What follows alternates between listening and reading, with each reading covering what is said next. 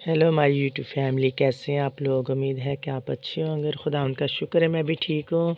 और आप लोगों को मेरा बहुत बहुत सलाम। और आज मैं आप लोगों के लिए रेसिपी लेके आई हूँ क्रीम चाट ये देख सकते हैं आप लोगों के सामने पड़े हुए हैं। ये मैंने दर्जन केले लिए हैं और एक किलो मैंने सेब लिया है। और थोड़े से मैंने अंगूर लिए और थोड़े से आप देख सकते हैं साथ में मेवे पड़े हुए हैं। एक पैकेट मैंने मकरोनी का और बीच में मैंने थोड़े से मटर डाले हैं।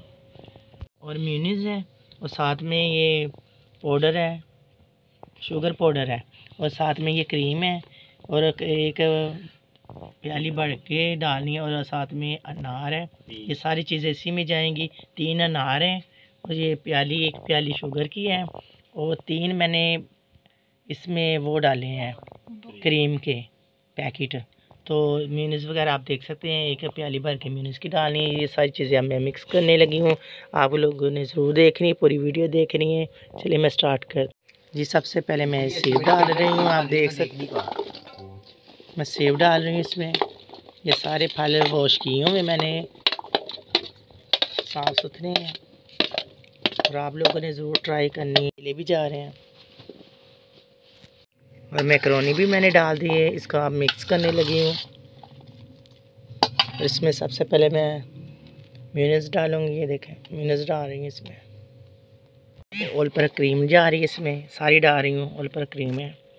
थे ओल ओल पर क्रीम अरे अब इसको मिक्स कर लें, सारी को मिक्स करनी है। देखें, मैंने इसको अच्छी तरह मिक्स कर लिया है। बहुत अच्छी मिक्स हो चुकी है। और अब मैं इसमें अनार डालने लगी हूँ। थोड़े से इसमें अनार जाएँगे आधे डालने हैं। तो आधे जो है ना आधे मैंने बाद में इसकी ना डेकोरेट करनी है। पास करो। ये देखें। और शुगर भी जा रही है। ये सारी चीज़ें मैं इकट्ठी डाल के मिक्स करने लगी हूँ। वो देखें अनार मैंने डाल दिए आधे मैंने रख ली हैं आधे मैंने ऊपर से डेकोरेट करनी है उसकी। तो इसको भी मिक्स कर लें आप अच्छी तरह। जी देखिए, मैंने इसके ऊपर अनार भी डाल दिए ये कंप्लीट हो चुकी है।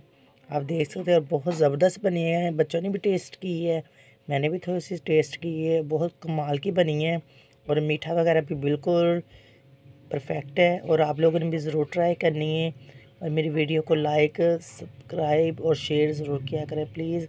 और आप लोगों ने मेरी वीडियो पूरी देखनी है, और बहुत ज़बरदस्त बनी है।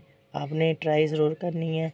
और इसके साथ मैं आप लोगों से इजाज़त चाहती हूँ। ओके खुदा बाय।